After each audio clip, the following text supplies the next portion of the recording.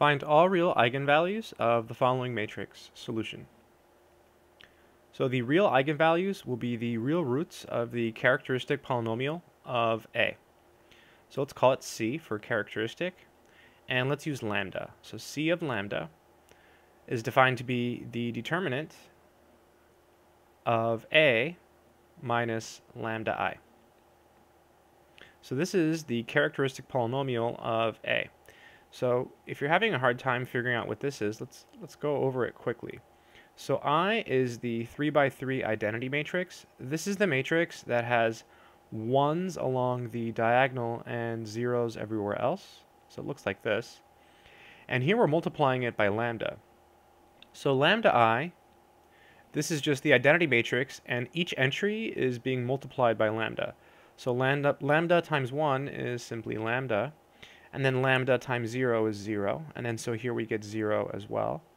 And this is 0, lambda 0, and then 0, 0, lambda.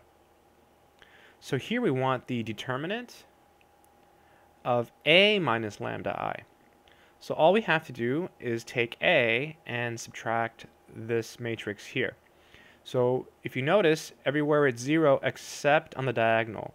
So we're just going to take lambda and subtract it from each of the diagonal entries.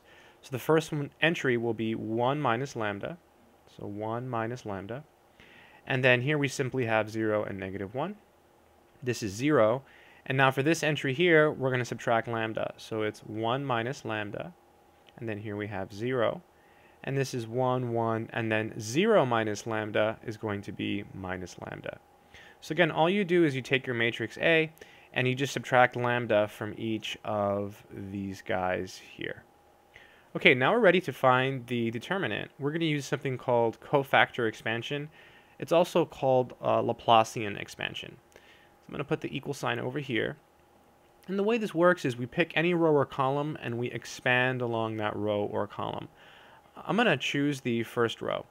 So we're going to expand along the first row. And all you do is write down the first entry, so 1 minus lambda. And then you have to multiply by negative 1. And it's always negative 1, and then the exponent, it's the row plus column. So we're in the first row, first column. So it's first row plus first column. And then you multiply by the determinant of the matrix that you get when you cross out the row and column. So if we cross out the first row and first column, we're left with 1 minus lambda, 0, 1, and minus lambda. And then we add. And then we go to the next entry. So 0. Now it doesn't matter what goes here because 0 times whatever we put here is going to be 0. But I'll go ahead and write it out. It's negative 1 to the row plus column. We're still in the first row. But now we're looking at 0. So that's in the second column. So plus 2. And then we multiply by the determinant of the matrix that we get when we cross out the corresponding row and column. So if we cross out the first row and the second column, we're left with 0, 1.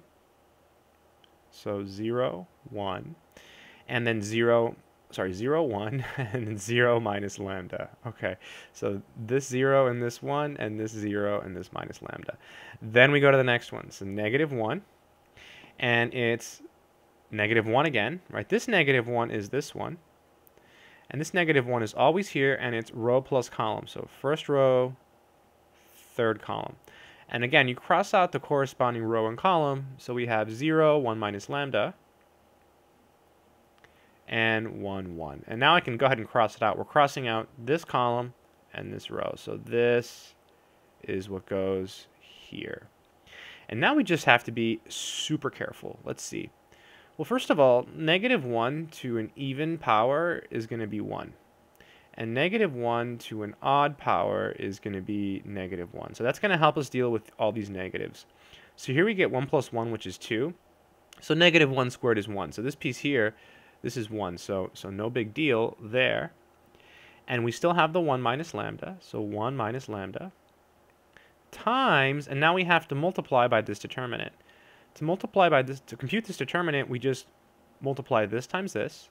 So it's going to be parentheses 1 minus lambda times negative lambda minus 0 times 1. So you subtract and you multiply these. This is 0. Here we have an even number. So negative 1 to an even power is 1. But then here we still have a negative 1. So this is minus and then parentheses. And now we'll compute this determinant. 0 times 1, 0 times 1, minus, and then 1 minus lambda times 1. So 1 minus lambda times 1.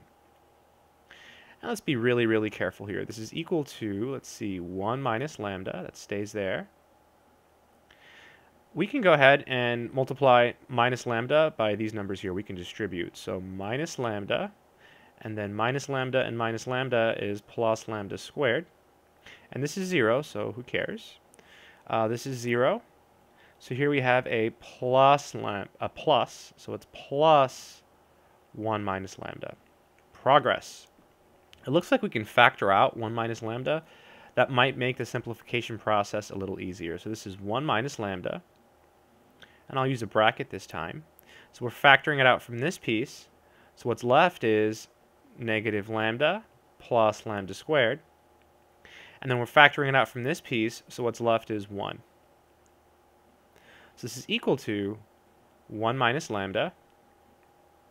And then here we have lambda squared minus lambda plus 1.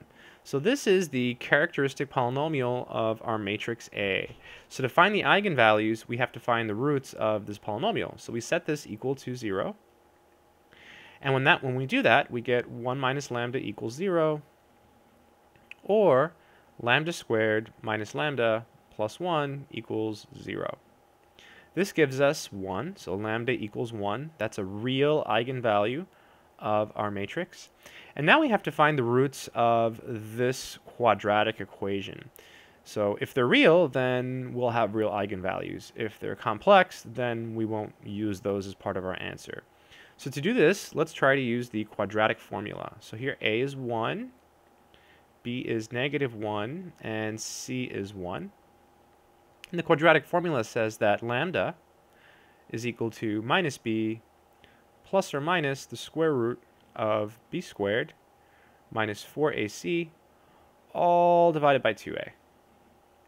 So lambda is equal to, let's see, minus b. Well, b is minus 1, so this is 1 plus or minus the square root b squared. So we're squaring the negative 1, so we get 1 minus 4 a is 1, and looks like C is 1 as well.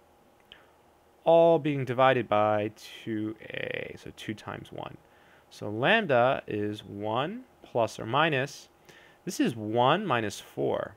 So square root of negative 3 over 2. So this is 1 plus or minus i square root 3 over 2. These are not real numbers.